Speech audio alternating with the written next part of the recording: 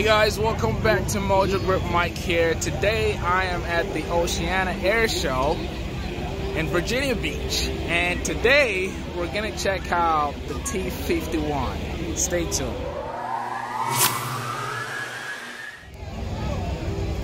Guys, if this bird reminds you of any other aircraft, you are not wrong. What you're looking at is a replica of a P-51 Mustang.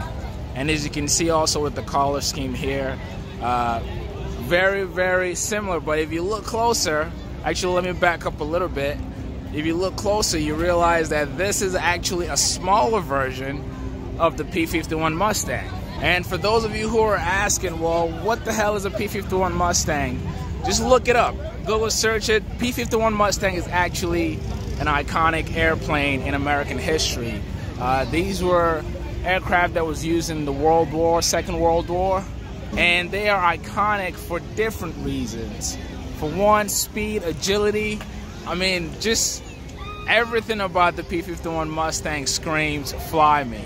Uh, obviously, those heroes who flew those birds back then, you know, they did a lot. And these airplanes came in handy uh, during the Second World War. But now, to get your hands on a P-51 Mustang, you're looking at a few million dollars. Uh, from what I know, those airplanes, you can probably find them for two to three million dollars. But guess what? If you don't have two to three million dollars, you can build one of these. Now, let me start the official review of the T-51. So guys, this is a 75% replica of the P-51 Mustang I just told you about. And if we go around it, I've mentioned the color scheme, and you see it has red tails. Red tail symbolizes the Tuskegee Airmen. If you uh, just look it up, just look up the Tuskegee Airmen in history.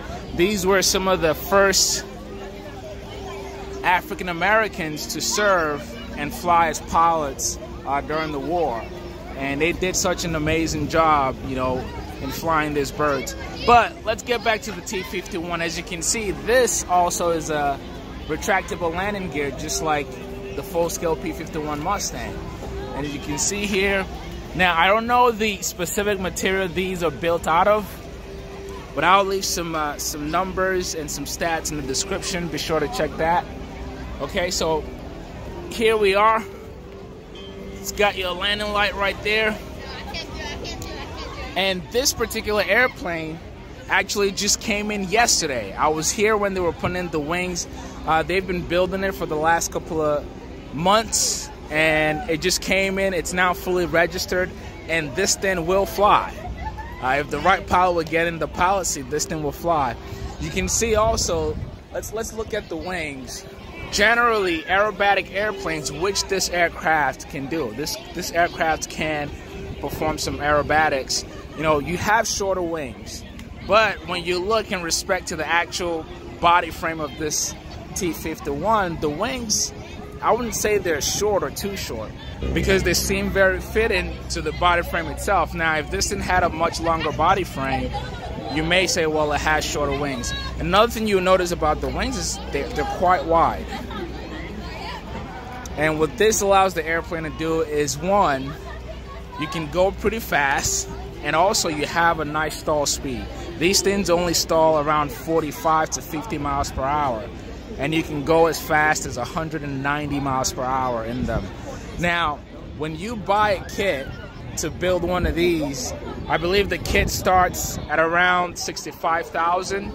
Um, but then depending on your power plant, which you can get several with these, um, depending on the power plant, your avionics, you're probably looking at about $100,000 to spend on one of these. And as you can see here, it is a tail wheel.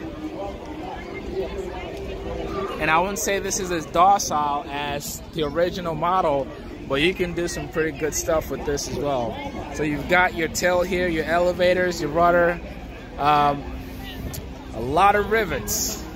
If you can see closer, you know, these are these are rivets and if you look all around the aircraft it's a lot of rivets a lot of riveting that you have to do with this airplane uh, and from what I've been told the average time it would take you to build one of these 1600 hours. And so you can divide that into months, years, however much.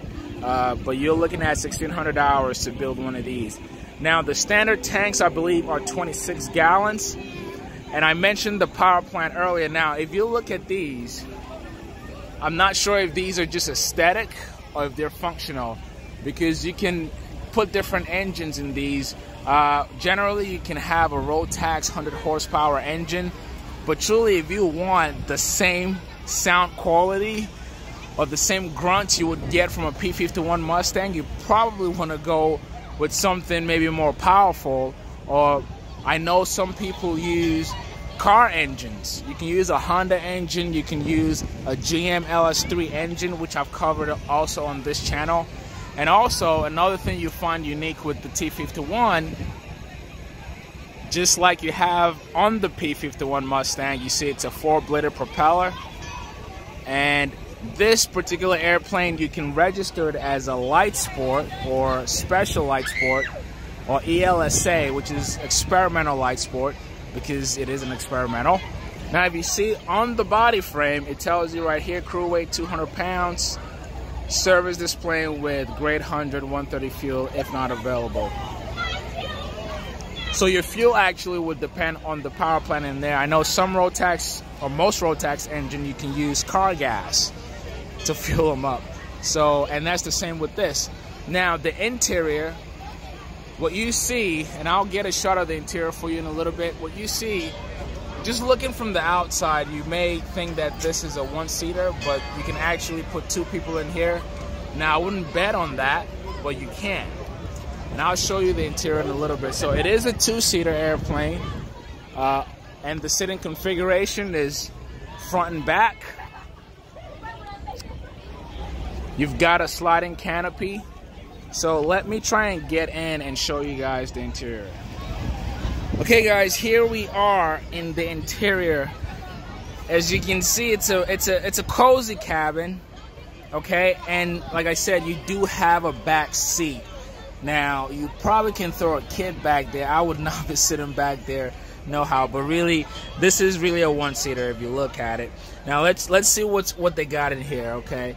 So you have a simple panel. You've got your analog screen there, but you can see that this is also equipped with a, a glass Garmin avionics. This is a 3X touch, and you have a center stick. And I love this handle here. I've seen a few of these around. Uh, I might actually get one in my airplane whenever uh, we get started building it. Okay, so it's got a single middle stick. This here to the side on the left side is your throttle. Okay, so you just push, push and shove. Uh, your circuit breakers are to the right. You see there's not a lot of them. You can probably count, let's see, probably about 10. So you've got your circuit breakers, the electric switches there. Again, your avionics is right in front of you. Uh, and you can do whatever you need to do within touch. Now, it is a tail dragger, so you're you're inclined a little bit, but not too far back. Like if I look at it from the top. So you're sitting inclined, but you're pretty straight up. And for somebody who may be shorter or taller, I don't think visibility will be a problem for you in this aircraft. And this right here, this is the first time I'm seeing one of these. I believe this is the the scroll to closing the canopy. I could be wrong, but that's what it looks like. If you follow that chain, so that's your handle to just pull in your canopy. Again, it's a sliding canopy. Now, in terms of baggage, if you put another person in here, there's no room for baggage, but I would think that this space is better just for baggage and just one pilot flying this. And your rudder pedals are right there. I'm not sure if they are adjustable or not, but again, people or pilots of different sizes can probably fit well uh, flying one of these. And then you look, it's nothing fancy. You know, there's nothing fancy in here. This is just a bird that you use. You know, go have some fun and come back down. You see it right there? Those are your landing gear lights. So whenever your landing gear are down or up, you get green or red, whichever uh, light indication that you have there. Now, I don't know where the landing gear switch is, I'm not sure if it's any one of those, but those are your landing gear light indicator that will tell you what's going on down there. So guys, here is my review of the T51. Again, it's a it's a three-quarter replica or three-quarter scale of the original P51 Mustang. Again, these can be built for less than $100,000. The kits start at 65,000 and depending on your power plant and your avionics, you can have one of these for less than 100 grand. Well, I hope you guys enjoyed this one. If you did, be sure to give a thumbs up. Okay, and if this is your first time, make sure you subscribe to Mojo Grip. Again, my name is Mike. Thank you so much for watching, and I will catch you on the next video.